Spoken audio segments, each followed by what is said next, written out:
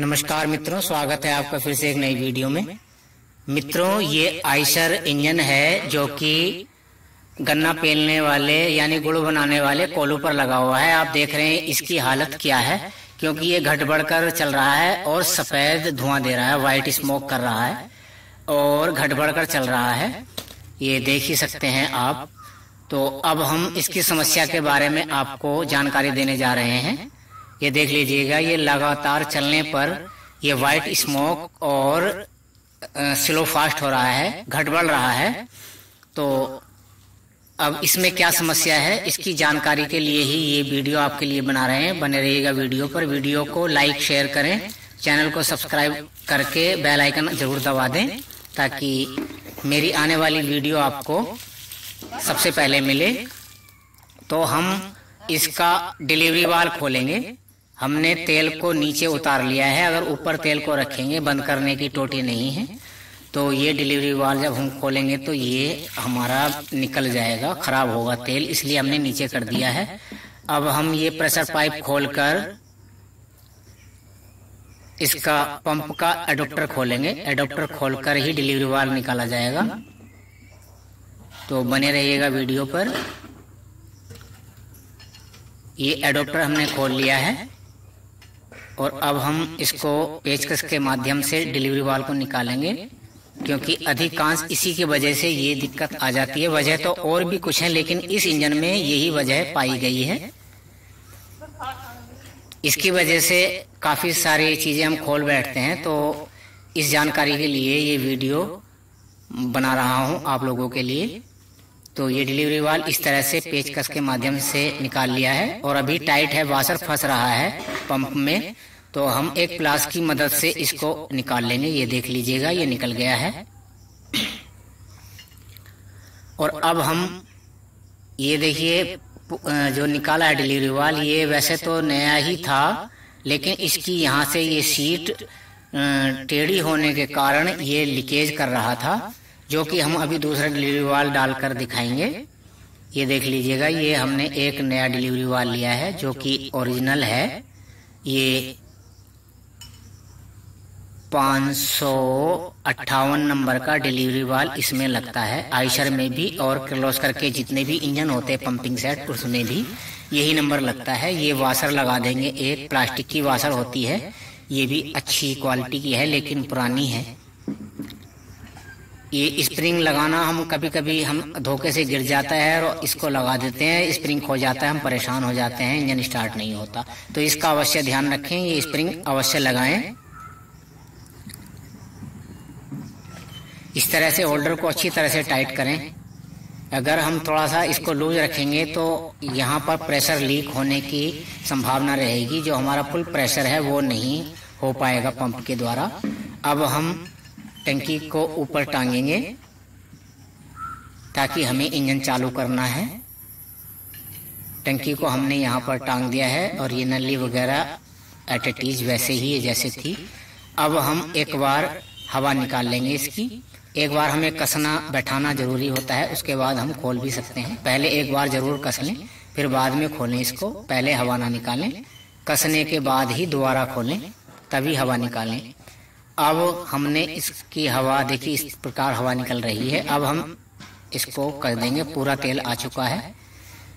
Adopter को अच्छी तरह से कस देंगे।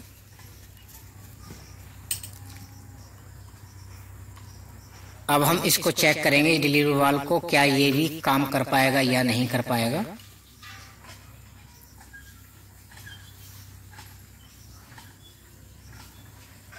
क्योंकि ये डिलीवरी वाल मेरे पास रखा हुआ था।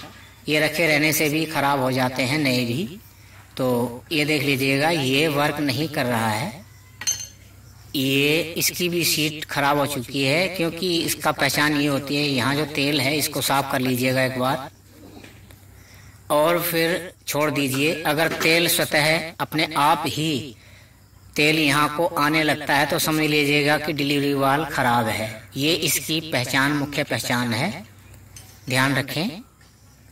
वीडियो अच्छी लगे तो लाइक अवश्य कीजिएगा और शेयर भी करें। ये देख लीजिएगा एक बार हमने साफ़ किया है फिर से तेल धीरे धीरे धीरे धीरे आना शुरू हो गया है।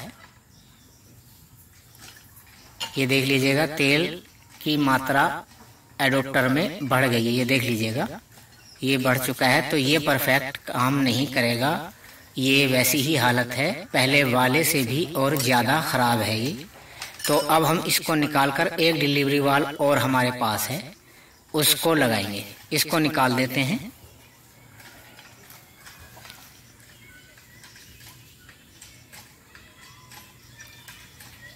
इस तरह से इसको निकालेंगे क्योंकि इसका वासर फंस चुका है। काफ़ी ज़्यादा फंस गया है तो हमने इसको निकाल लिया है और ये निकालते समय वासर खराब भी हो गया है। ये एक डिलीवरी वाल दूसरा लिया है हमने। इसमें हम वाशर दूसरे लगाएँगे, जो इसमें पहले ही लगी हुई थी, वही वाशर हम इसमें लगा देंगे। ये देख लीजिएगा, ये डिलीवरी वाल हमने साफ़ करके, और ये हमने डिलीवरी वाल, एक नया डिलीवरी वाल वाशर लगाया है। अब एडोप्टर को अच्छी तरह से कर देंगे। हमने एडोप्टर को अच्छी तरह से कस दिया है। अब एक बार फिर से हम खोलकर हवा निकाल देंगे।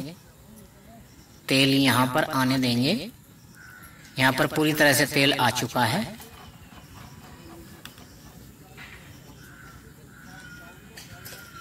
ये देख लीजिएगा, हमने इसको टाइट भी अच्छी तरह से कर दिया है। अब एक बार हम घुमा रहे हैं इसको तो ये तेल यहाँ पर आ चुका है। और हम इसको एक बार फिर हमने साफ़ कर दिया है। ये देख लीजिएगा हमने इसको पूरी तरह से इसका तेल सुखा दिया है। अब ये बिल्कुल भी लीक नहीं कर रहा है। देख लीजिएगा आप बिल्कुल भी ये तेल लीकेज नहीं कर रहा है। अब हम श्योर हो गए हैं बिल्कुल कि अब ये पंप पूरी तरह से अच्छा वर्क करेगा। प्रेशर पाइप को टाइट कर दिया। हमने इंजन को स्टार्ट कर दिया है। ये देख लीजिएगा, पहली बार में ही ये इंजन स्टार्ट हो गया है और नोजल भी पहले के मुकाबले अच्छा वर्क करने लगी है। अब आप देख सकते हैं, साइलेंसर के तरफ़ देखें आप, किसी प्रकार का कोई धुआँ भी नहीं है। ये काफ़ी समय में इंजन स्टार्ट हुआ है तो हल्का बहुत धुआँ है। परंतु अब जो पहले घट बढ़ रहा था, आप आवाज़ भी सुन सकते हैं। और धुआँ भी नहीं है घटबड़ भी नहीं रहा है। बिल्कुल देख लीजिएगा, ये साइलेंसर आपके सामने है और स्पीड भी रेगुलर है। स्पीड में भी कोई फ़र्क नहीं है। नमस्कार मित्रों, ये वीडियो यहीं तक